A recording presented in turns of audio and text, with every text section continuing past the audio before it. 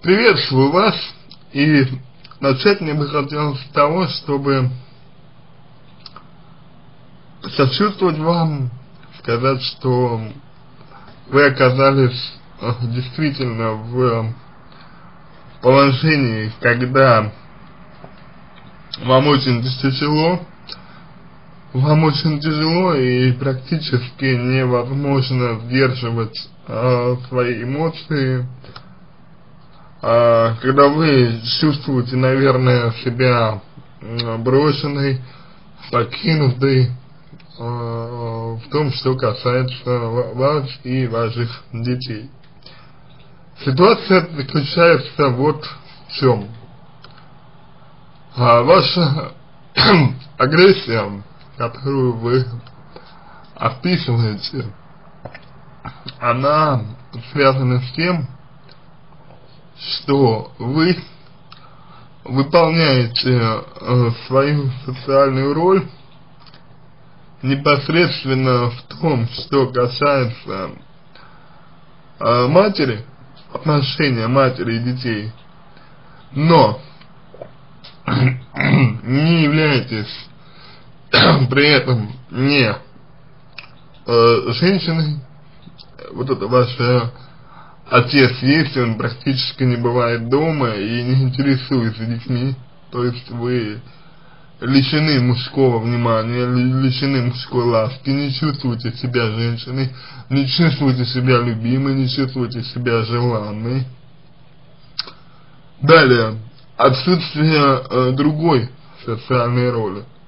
То есть это роль дружеская, роль друга, роль подруги, общение с людьми, которых вы считали бы равными вам, которые бы воспринимали вас не как источник каких-то благ, как воспринимают вас ваши дети, а именно как равноправного человека, которым вы могли бы пообщаться, ну, на интересующие вас темы, при этом зная, что эти люди ничего не будут от вас именно требовать.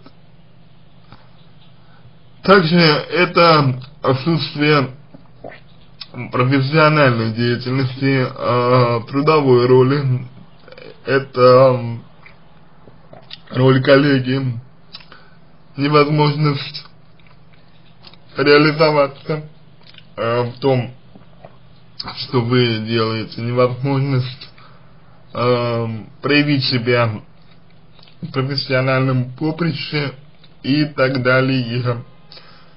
Ну и, пожалуй, основной момент это только такой, что вы не можете проявить слабость, у вас постоянное напряжение из-за того, что э, приходится всю ответственность нести на себе.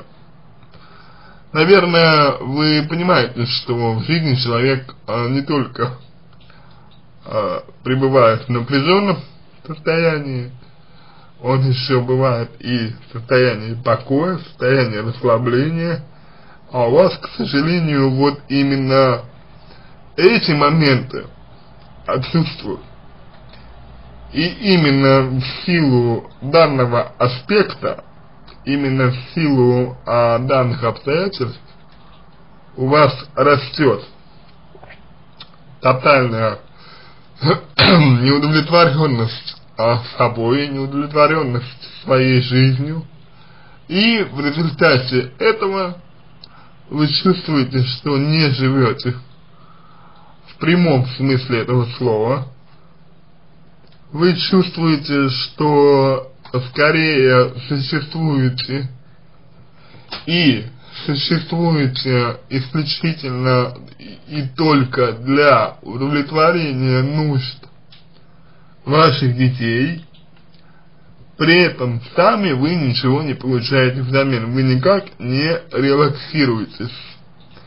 И вот эти аспекты как раз таки и мешают вам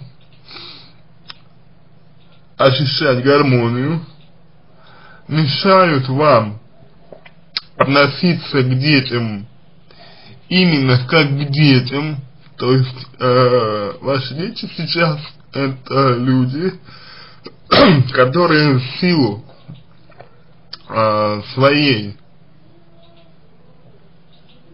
планки развития на данный момент обладают эгоцентризмом. Они считают сейчас, что только они являются центром Вселенной. И для них их поведение абсолютно нормально. В процессе воспитания, решения задач им приходится обращаться за помощью к вам. Им приходится ориентироваться на мнение, на ваше мнение, на мнение других взрослых людей. И тогда от эгоцентризма они отходят. Но пока что они еще находятся в его власти, и это совершенно нормально. Это абсолютно естественно, но вы воспринимаете их поведение очень-очень близко к сердцу именно в силу того, что у вас тотальная неудовлетворенность. Соответственно, а, что нужно сделать? Ну, во-первых, э, во-первых, гармонизировать отношения э, с отцом детей.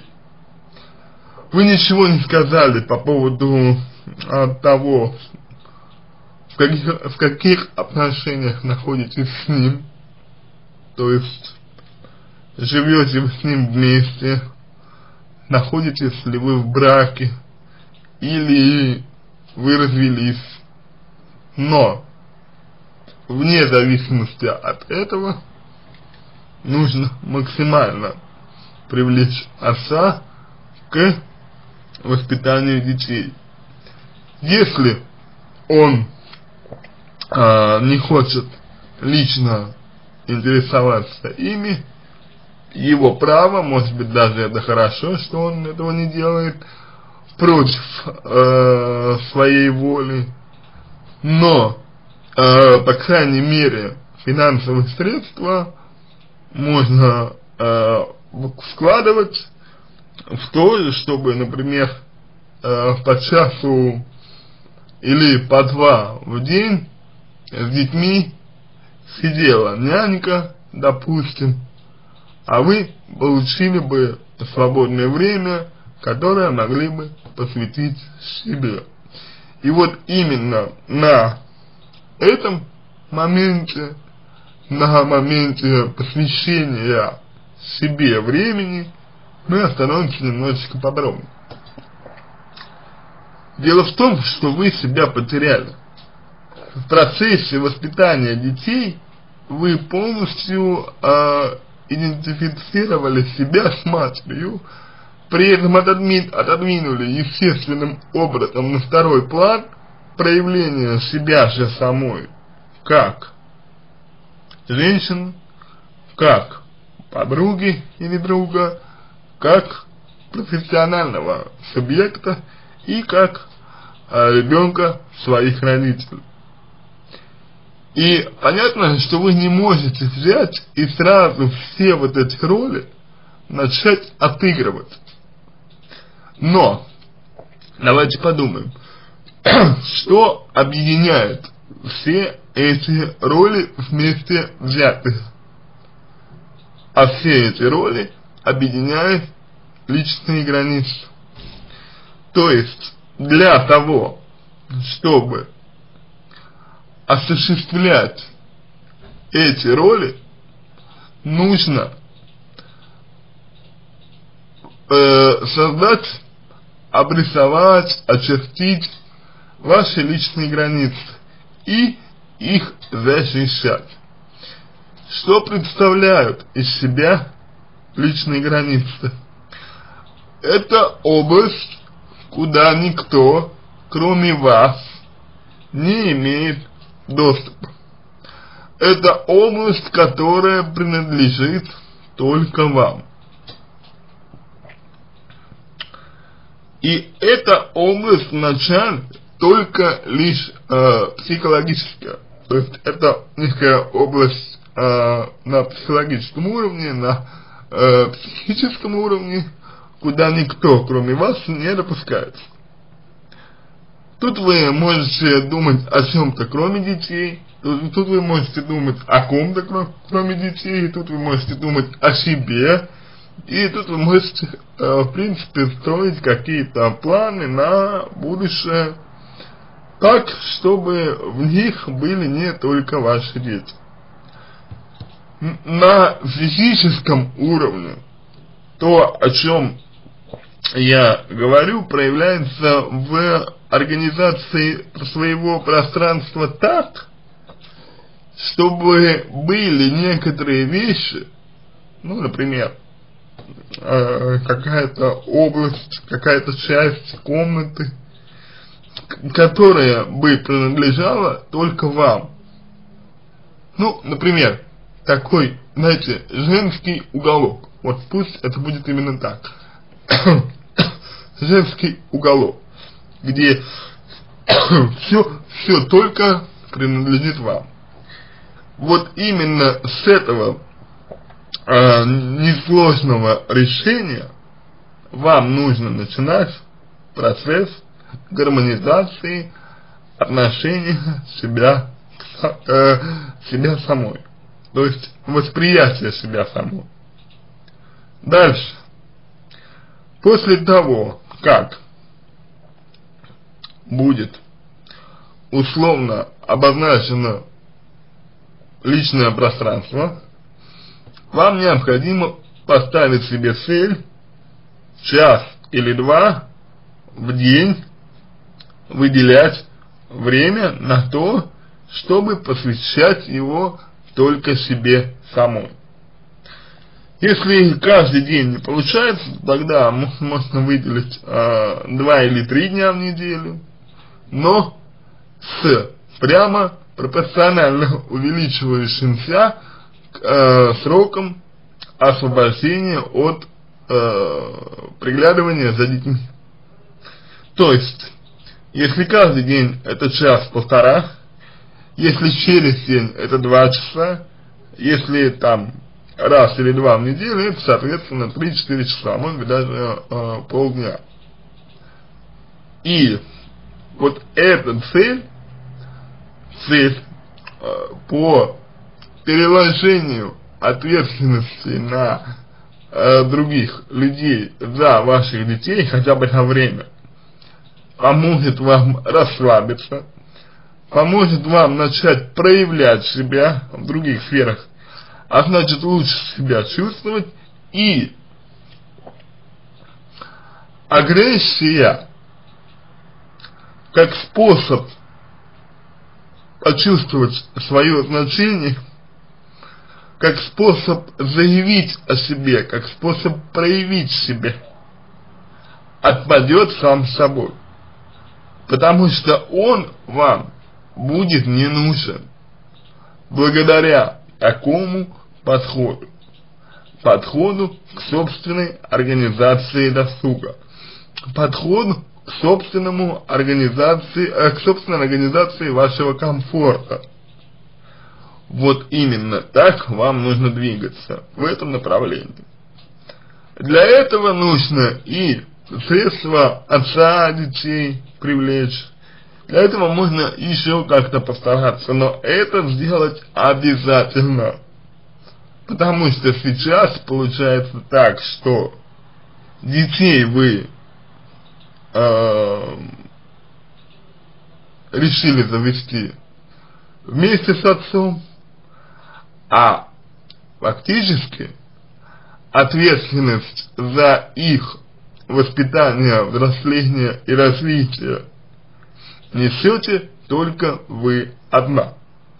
Это не является правильным, не является верным, и потому вы испытываете агрессию.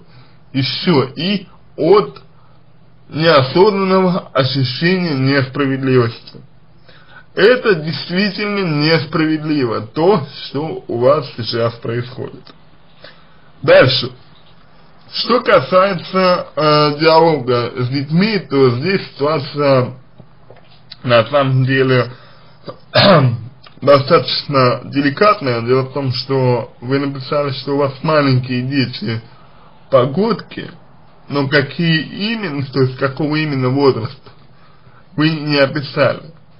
Я думаю, что э, именно у вас дети, которые еще не э, вошли в школьный возраст, то есть дети дошкольного возраста, а дети дошкольного возраста, как я уже говорил, склонны к эгоцентрическому поведению.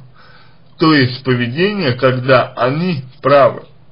Это значит, что вам нужно по большому счету придерживаться двух основных э, направлений во взаимодействии с ними. Первое направление касается э, некого ограничения того, что они могут сделать, ограничение их деятельности. А второе направление это, скажем так, наоборот, предоставление некоторой свободы в том, что они хотят делать, и тем самым помочь им увидеть результат своей деятельности. Поясним чуть более подробно. Предположим, что ваши дети хотят сделать, э, ну, осуществить какое-то действие, э, совершить какой-то поступок. Вы знаете, что этот поступок, он ничего хорошего им не принесет. Пытаетесь настоять на вашем э, рациональном, адекватном видении ситуации – но у вас, конечно же, не получается, и дети отчаянно требуют, чтобы было так, как хотят они. В этот момент оцените э, ситуацию и спросите себя, насколько они, ваши дети, навредят себе тем, если совершат поступок так, как они этого хотят будет ли им прямой вред. Именно прямой, непосредственный, который вы не сможете купировать и так далее. Если такого вреда нет, то позвольте им сделать так, как они хотят. Дайте им почувствовать ответственность и последствия того, что они делают. И если их поступки приведут к негативному результату, они к вам обратятся, они э, начнут испытывать нужду в вашем мнении, и это спровоцирует отход от эгоцентрического поведения. Второй важный момент, момент который касается э, пассивного ограничения их деятельности, э, раскрывается через следующие моменты. Если ребенок э, совершил какое-то плохое, нежелательное действие, то постарайтесь его не ругать. Постарайтесь на него не кричать, а спокойно и рассудительно, холодно, нейтрально, скажите ему о том, что он, причинив вам дискомфорт своим действием, но вы понимаете его и не собираетесь его ругать. Оставьте все как есть, да? То, то, есть, то есть не кричите, не воспитывайте, не указывайте, но ведите себя холодно, отстраненно, так, чтобы ребенок почувствовал, что на эмоциональном, чувственном уровне что-то произошло, что-то не так. Дети очень хорошо чувствуют подобные моменты, и если вы невербально дадите ребенку э, прочувствовать, что вас задели его слова или его действия, при этом вы лишите его своего внимания, а когда вы кричите на ребенка, вы даете ему свое внимание, вы проявляете свое отношение к нему, причем в понятной для него форме, и тем самым, как и любое сильно действующее э, средство, э, оно вызывает быстрое привыкание, даже чересчур быстрое привыкание. А здесь вы понимаете, о чем идет речь здесь. Если же вы воспользуетесь подобной стратегией поведения, то тогда ребенок, оказавшись в непривычной для себя ситуации, он, он рассчитывал, что вы будете на него кричать, он рассчитывал привлечь, например, ваше внимание, а в итоге ничего не произошло, тогда и в таком случае ребенок сам получит стимул, стимул изнутри, чтобы не делать больше того, что он сделал. Просто потому, что это влечет негативные для него последствия. Действительно негативные, действительно тяжелые последствия. Вы можете поступить и еще более хитро. Можно создать некий ритуал, не, некий набор определенных действий положительных, которые вы с детьми выполняли бы в случае, если они ведут себя хорошо. А если они ведут себя плохо и не делают того, что вы им говорите, то вы не ругаетесь, вы не ссоритесь, но вы не делаете этих самых действий. Вы их не выполняете, попросту говоря. Вы просто исключаете их из вашего быта.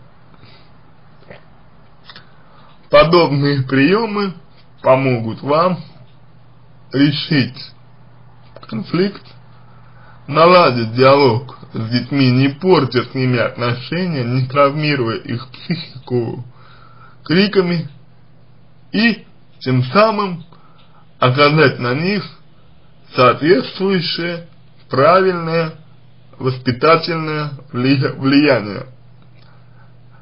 На этом все. Надеюсь, что помог вам. Если какие-то вопросы остались, обращайтесь в личку. Помогу, если вам понравился мой ответ. Буду благодарен, если сделаете его лучшим. Желаю вам всего доброго и удачи.